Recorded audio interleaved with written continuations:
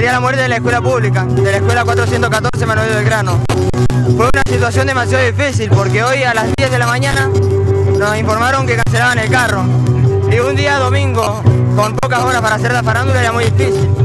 Y creyendo que sí, atacándonos la moral, no íbamos a venir, no íbamos a manifestarnos. Pero no, fue al revés. Al contrario, nos avivó mucho más y dijimos vamos a venir con más ganas. Igual no fueron los profesores. Fueron muchos profesores los que nos ayudaron e iban, sábados a ayudarnos. Y hubiera muchos otros que tenían miedo y preferían que hiciéramos otro carro. Los directores también nos ayudaron, los vicedirectores. Costó demasiado armar el carro, pero bueno.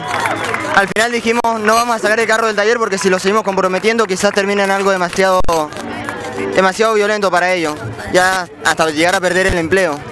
Así que dijimos, bueno, vamos a armar lo que, nos, lo que podamos con lo que nos quede y vamos a ir. Y acá estamos. Demostramos que no se puede... Sí, que no se pueden romper los derechos humanos. No se puede... No nos pueden quitar la libertad de expresión. Y que podemos manifestar porque nosotros sabemos muy bien lo que va ocurriendo. Esto no es una política objetiva, esto no es una política partidaria.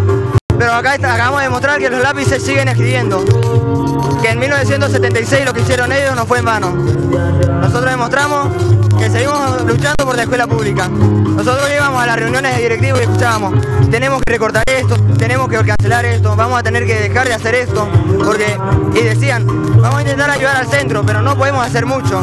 Así que vamos a intentar hacer lo que podamos. Y surgió ese tema de decir, bueno, vamos a armar el escuela pública para ayudar a nuestros profesores.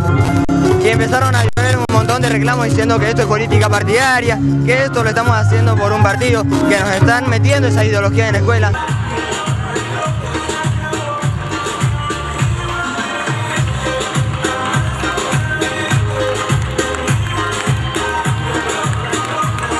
Hay cosas que te ponen la piel de gallina, de Bueno.